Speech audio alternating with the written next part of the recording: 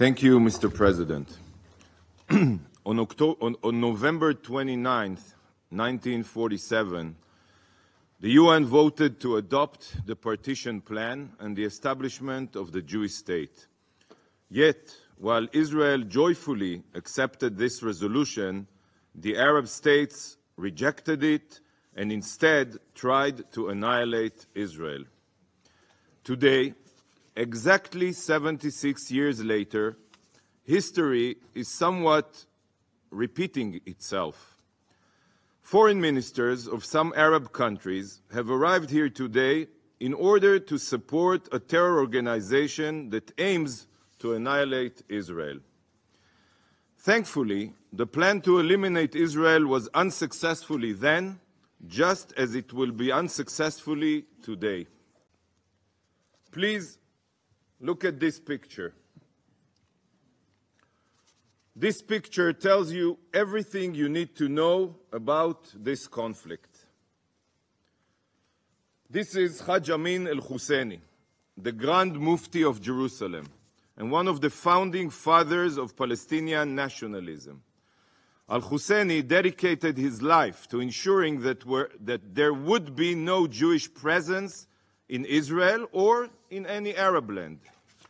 The Mufti's hate spread across the Levant, and tragically, he was partially successful in creating a Judenrein, Jew free Middle East.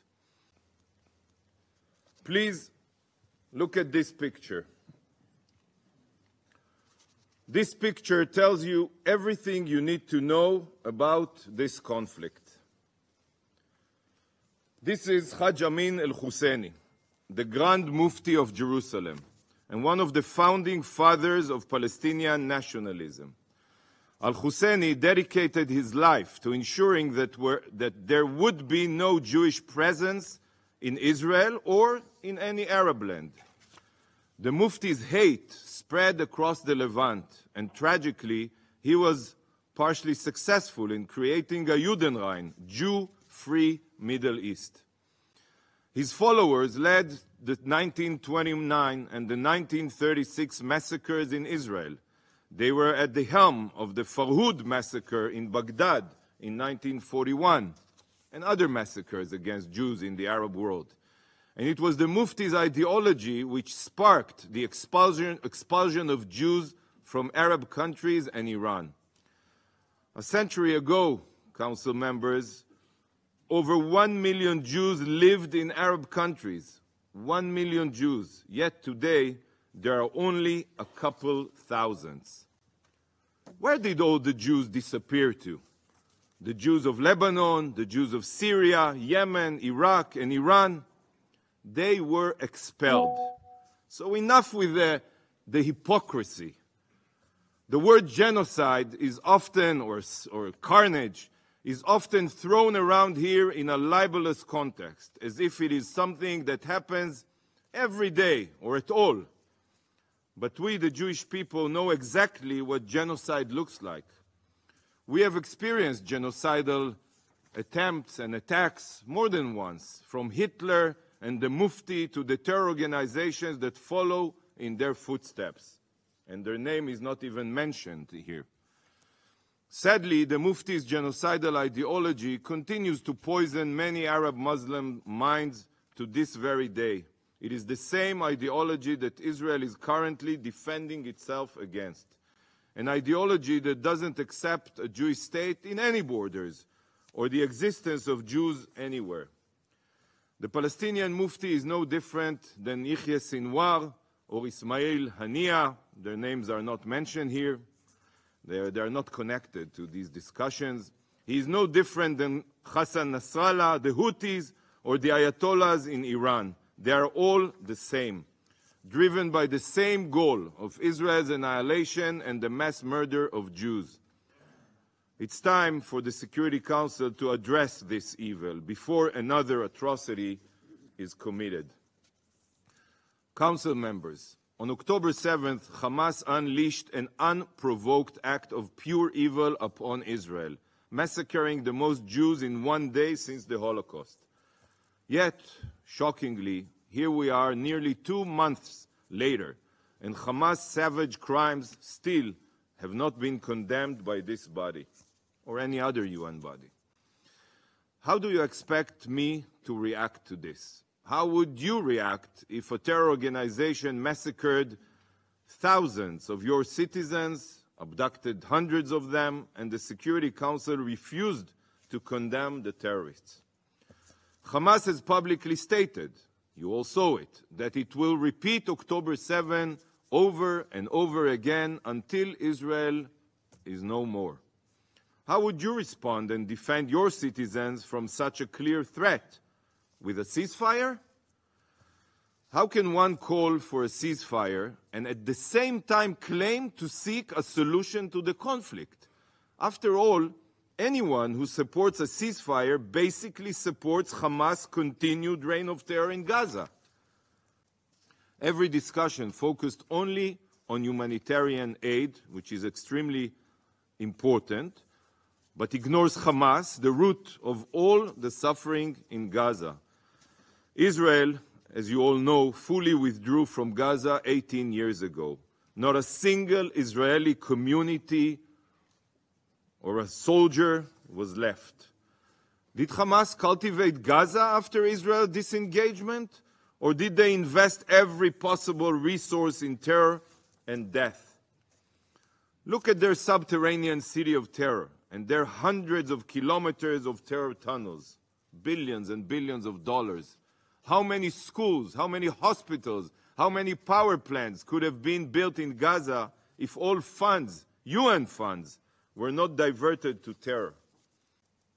Every discussion focused only on humanitarian aid, which is extremely important, but ignores Hamas, the root of all the suffering in Gaza.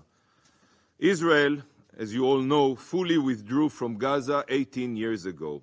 Not a single Israeli community or a soldier was left. Did Hamas cultivate Gaza after Israel's disengagement? Or did they invest every possible resource in terror and death. Look at their subterranean city of terror and their hundreds of kilometers of terror tunnels, billions and billions of dollars. How many schools, how many hospitals, how many power plants could have been built in Gaza if all funds, UN funds, were not diverted to terror? This council must also not remain silent about the Shiite elephant in the room Iran armed, Iran funded, Iran trained Hamas. But the Ayatollah regime's central role in the ruin of the region has not even been addressed here. It's not as if Hamas is fighting Israel alone. Hezbollah missiles have been raining down on northern Israeli towns, and Iran doesn't hide its aim of Israel's destruction. Iran publicly supports the October 7th massacre what started everything. Does Iran's central role in destabilizing the security of the Middle East not deserve to even be raised here? It is clear that the UN has been co opted by those that have no real interest in a solution. Every UN body has been weaponized against Israel. Today, we will be hearing from some foreign ministers of countries that have not even condemned Hamas's massacre. Can we honestly expect them to provide a productive option? The only input that can be valued here is from parties that have condemned Hamas's massacre. This is the basic thing. This should be the bare minimum. Just look at what has been taking place at the UN over the past week. UN briefers from UNICEF did not even bother to mention Hamas's indoctrination of Gazan children to terror. UN Women did not brief the Council on the savage rape and sexual violence perpetrated by Hamas against Israeli women.